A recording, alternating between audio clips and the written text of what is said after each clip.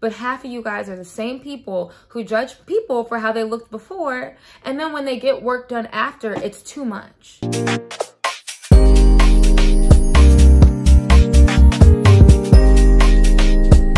Hey guys, it's your girl Camryn and I'm back at it again with another video. We're gonna be talking about hypocrisy when it comes to the plastic surgery conversation. Why are we so comfortable judging celebrities' looks and how this manifests into actually adding to the problem that we say that we're trying to fight? I feel like we'll all be able to have more of a productive conversation when we're honest. A lot of what I see on YouTube or videos are in favor of y'all are doing too much. The plastic surgery is too much. Y'all just need to love yourself. She looks crazy. They look crazy. However, I think a lot of people are not assuming some sort of responsibility for this culture we've created that kind of makes people want to get this stuff done. I've even done a video called Everyone Looks the Same. This was years ago. And so I wanted this video to kind of counteract that or show another perspective. This conflicting message that girls are like, what do I do? Because you're saying not to do it, you're saying to do it, and the same person in the middle is saying both. From people like SZA, Khloe Kardashian, Coi Leray, Lizzo, Kylie Jenner have always been a topic of conversation when it comes to body image, whether that's physically, how your body manifests, whether it was achieved by surgery, how you were naturally born. And I wanna talk about how these celebrities have often been a target and it highlights the hypocrisy that a lot of us out here have when we have the plastic surgery conversation. Like, comment down below. What are your opinions on this? Subscribe down below. If you guys are new here, hey, what's up? Welcome. If you are a subscriber, I have a new intro that I just introduced at the beginning of this video. I am a video editor as well, so I created all of my intro materials, my outro material, which you'll see if you stick around to the end. And I rebranded my whole channel. So we're here 2023 with a new vibe, a new look. Thanks for watching. And without further ado, let's just get straight into the commentary. As a lot of us know, looks are our social currency in society, especially for women. It's no surprise that many of us are running under the surgeon table or under the knife to keep up to date with the ever-changing expectations of what women are supposed to look like. So today, plastic surgery possibilities are endless from Botox to fillers to lip fillers, chin implants, buccal fat removal, whatever the hell that is, jaw surgery. And many women are trying to keep up, especially celebrity women, which tend to be the punching bags for this plastic surgery conversation. A lot of their careers are based off of their image. So of course they want to look as perfect as possible while they also contribute to some of these harmful stereotypes, right? You're creating and you're making a standard. A lot of these women are judged harshly for partaking. And we perceive them as being rewarded for these changes in their appearance, whether they date the finest men, they make money for being attractive and hold a higher status. The reward is men finding them desirable. And to no one's surprise, that is not a reward. It's really not.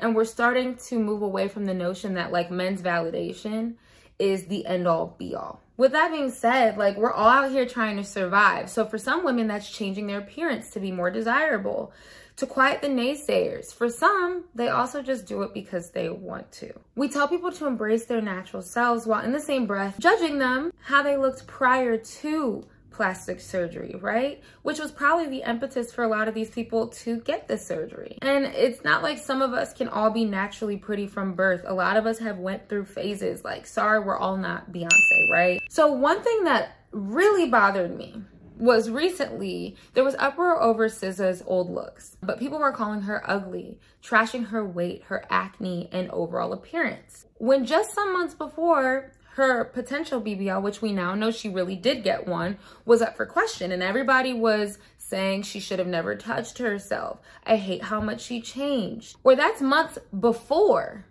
people had brought up her old pictures. So the same people who were saying earlier that she didn't need surgery are some of the same crowd who are boasting about how ugly she was. So you guys say SZA was ugly before and trash her when she has surgery. So it's like make up your minds. And that's the hypocrisy that I'm trying to highlight today, right? And a lot of the people who are to blame for this are the people in the comment section and the people who sit here and preach body positivity. But half of you guys are the same people who judge people for how they looked before. And then when they get work done after, it's too much. And, and this is an example of how it's completely inconsistent messaging. And I'm not saying this is everybody. However, I think that this hypocritical thinking seeps into a lot of our subconscious and we don't even realize that we're doing it. We'll be like, ooh, she looked crazy. But then in the same breath, you're questioning why she got surgery. Why is it a question? Everybody and their mama sitting up here saying, ooh, she look a mess, she look a mess. So after all of that pressure, what do you think would be a normal reaction for somebody to do? Going into a study, um, and I will link all of my research. This is from a scholarly article. Markey and Markey recently examined young American women's interest in obtaining cosmetic surgery. They found all four factors they investigated, namely body dissatisfaction, physical appearance, teasing, in quotes, being teased about 11 different body parts, and media influence were related to the desire to have cosmetic surgery. Now, instead of it focusing on mostly the media influence, which is most commonly covered when we talk about the surgery discussion, I'm highlighting the teasing and the shaming part. This is actually a more significant part that people don't take responsibility for. These standards don't just pop out of thin air, y'all. Men and women create these. We uphold them and we project how we feel about ourselves onto other people. We do this with our emotions. We do this with physical appearance. We do this with communication. So it's, it's a natural human thing to do. Commenting on appearance, speculating, and making a spectacle of somebody's face are all factors that I see on the daily that could easily contribute to somebody wanting to get work done period. I don't care how strong you think you are until you're in that position. I think we need to be a little more empathetic. Now, in this study, Shireen Delinsky found that media exposure predicted greater likelihood of undergoing surgery. However, on the contrary, Amy Brown and others found that media exposure didn't influence the likelihood for undergoing cosmetic surgery, but rather caused awareness to reach its peak. If some of the studies are actually saying media influences aren't as profound and impactful as everybody makes it out to be, those other factors are arguably just as important or maybe even more important than we give it credit for. So it could imply that people's comments on body flaws and projecting their own insecurities are a huge reason as to why there's such an issue with people running under the knife. It's basically like the media brought you to the ledge, right? You hanging off a cliff. The comments from outsiders on your natural appearance causes you to let go of that edge and fall into the abyss, right? It's like the media is the impetus, but it's all of the people in your ears like, ooh, you don't look good enough. Ooh, you should have changed this. And I'm not saying everybody who has plastic surgery does it because there's people in their ear. But I think a lot of celebrities, naturally, you have a large audience. You're listening to what people are saying. And people always have shit to say on the internet that they would never say to your face. We often see ourselves in others. So a girl with a similar frame to Lizzo or a similar frame to a Coi Leray may say they get all of this hate for their body and I'm built like them too. And actually they're gorgeous girls, they're pretty. And if they're getting teased, maybe something must be wrong with me because they're rich, they have money, they're pretty, their makeup is on point, but we have the same body type. I see myself in her and everybody's saying she needs to fix something. So you have people on the internet seeing all these comments and possibly feeling like now something might be wrong with them because let's face it, we see ourselves in others. We see ourselves represented in others and that makes a huge difference positively and negatively. In one scenario, we get the girl who may change herself due to all of the comments and they might succumb to the peer pressure. But in the other scenario, we get the girl who embraces herself like Lizzo, who's unapologetically herself. She doesn't give a what people care or think about her. Or you have, again, the Coi Leray who's like, okay, bitch, I'm skinny. I don't have this. I don't have that. But I'm a bad bee and I'm going to stay that way. So you have those two different outcomes. But remember, the first girl isn't the villain that we make her out to be. And I feel like too much with this plastic surgery conversation, we make the girl who was pushed over the ledge and teased and ridiculed, we make her the villain in the story. And coming from an empathetic point of view, that's not completely fair. If you guys know Kayla Nicole, she's an internet personality. She was at the Grammys and she had just had a baby, but she had this dress that showed her cleavage. And there was a girl who felt the need to basically say she needs a boob job ASAP. And I was really happy to see so many people coming to her defense. Absolutely. And I want to highlight that. And that's the attitude that we need. But there are a large amount of people who are the first to comment, oh, they should get this done and they should get this done. But are you to get mad at Kayla Nicole though if she really did feel like, hey, maybe I, I, I am to change myself? Because then the internet will flip and be like, why did you change yourself? Yada, yada, yada. But will you have people ridiculing you? Like, What do you think is gonna happen, y'all? Let's talk about women empowerment, feminism, and how this can turn into negativity where women, we weaponize it against each other. Feminism preaches women should be able to act on what we want, act on free will, do what we want, how we want, and when we want but we flip the script on ourselves. And men tend to also weaponize our weakness, the one that they gave us, which is attractiveness, its looks, its sexuality. In a man, man's perspective, they want natural women, but the girls they fawn after and seemingly entertain on platforms are those who have surgery or are not naturally built that way. Women look at these messages in society from men while simultaneously being told to love yourself, but also being brought down for how you naturally look. It's like nothing is ever really good enough. And where women come in is we take these standards and we internalize them so much to where we start projecting that onto other people. Like oh she needs to get this done. Oh she not popping. Oh she's ugly. That was created to bring us down in the first place. Are you picking up what i'm putting down? And as women i think because it impacts us a lot, I think we also have to take responsibility within ourselves for the lashings we participate in. It's like the call is coming from inside the house. I think of it like how with black people, yes, we know that racism, the culprit are the white people who created these systems. And they definitely should be demonized and held accountable. But there's only so much that we can control from other people. On the inside, it's like with black people, yeah, we need to also look within ourselves. What are we perpetuating?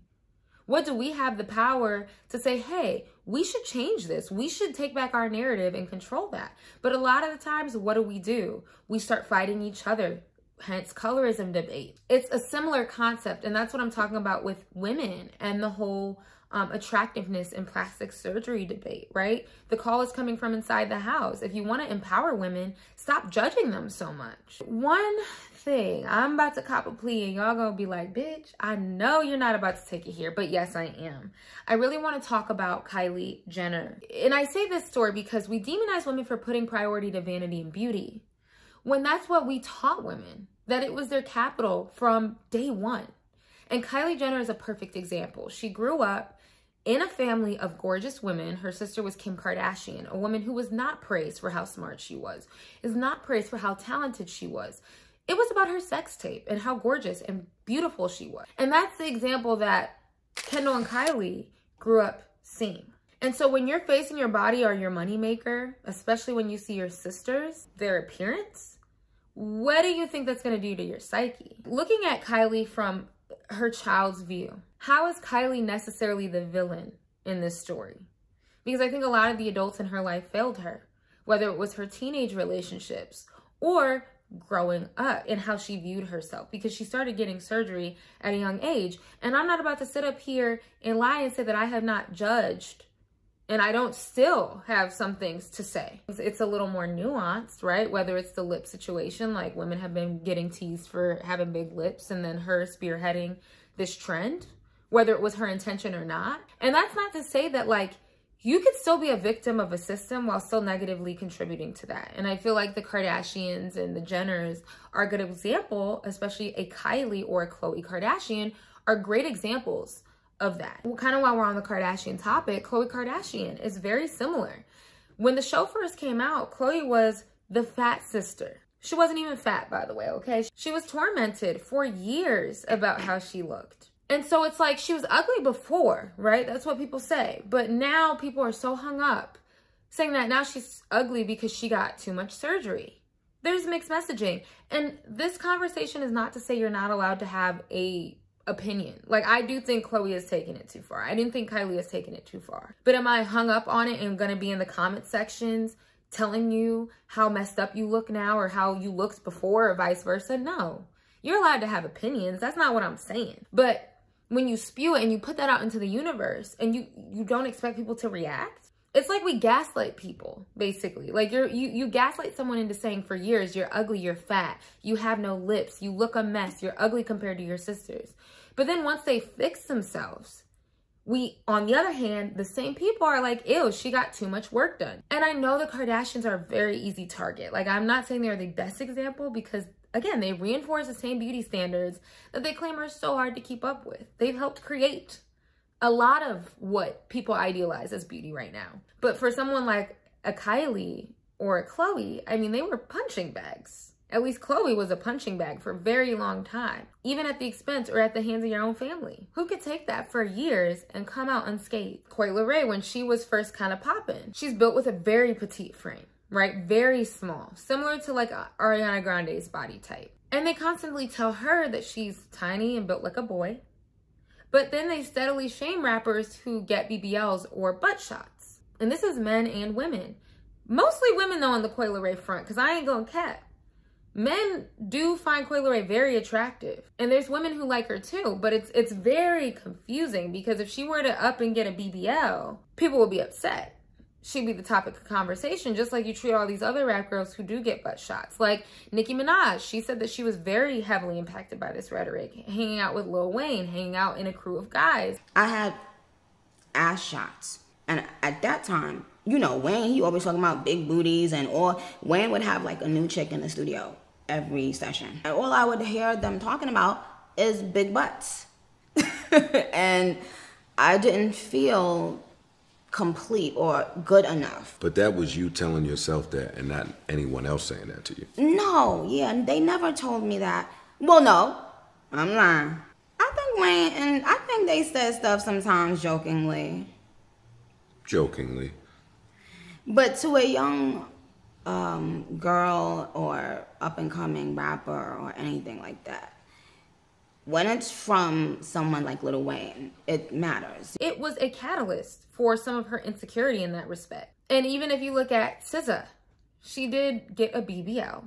Um, and she did make a subtle but bold response in her new album, SOS, with songs like SOS and Conceited, where she basically owned up to saying, yes, I got a new body and a BBL. And basically, what about it?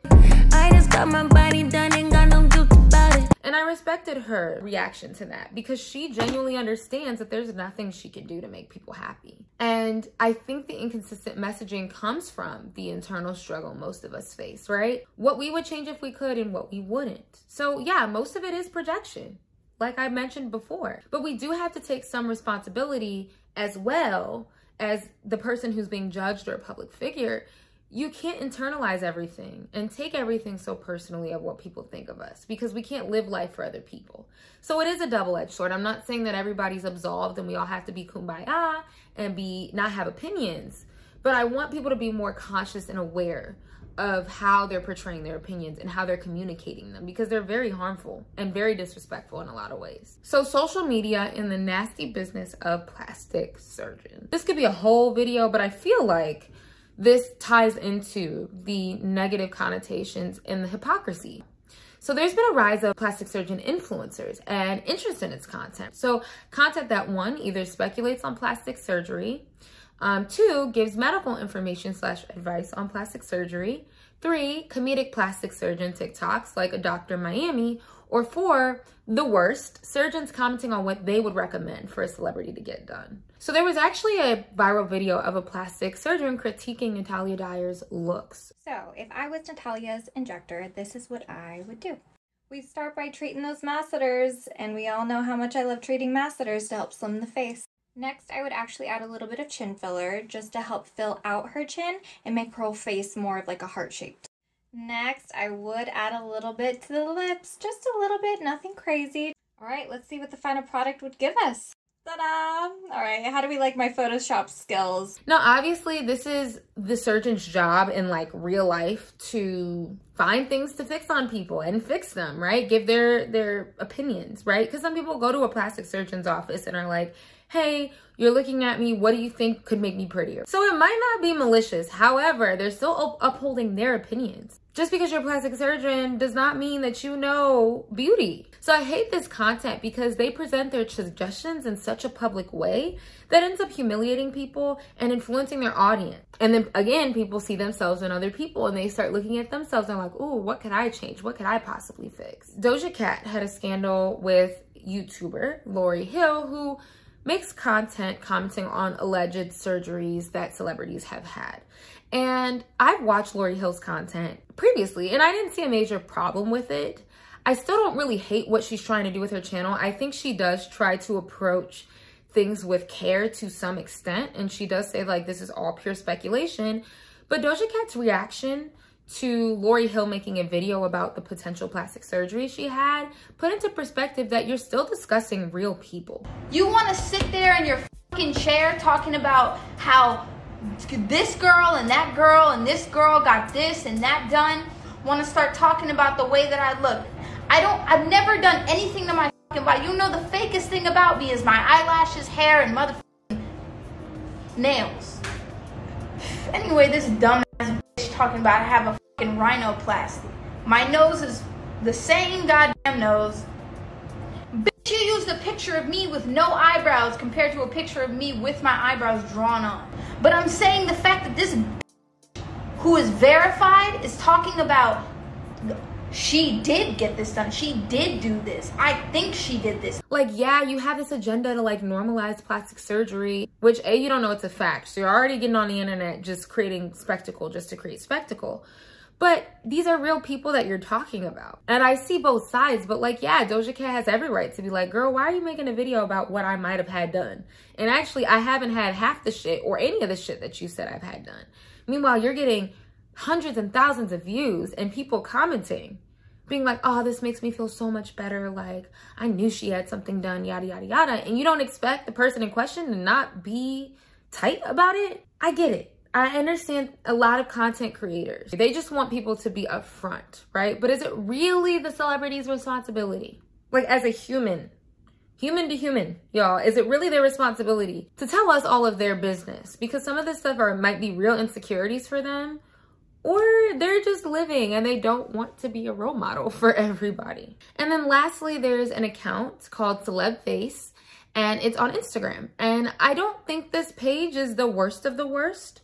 Um, it basically just aims to put like comparison pictures of like what some people look like, Photoshop, touched up, edited, which I think that's very valuable though, because a lot of these models on the runway, some of the pictures they post are very different than what they look like. And that's not really what I'm hinting on right now. Like I think over editing is like kind of an issue. And I think it's important like from a media perspective, like advertisements and things like that, that like people know.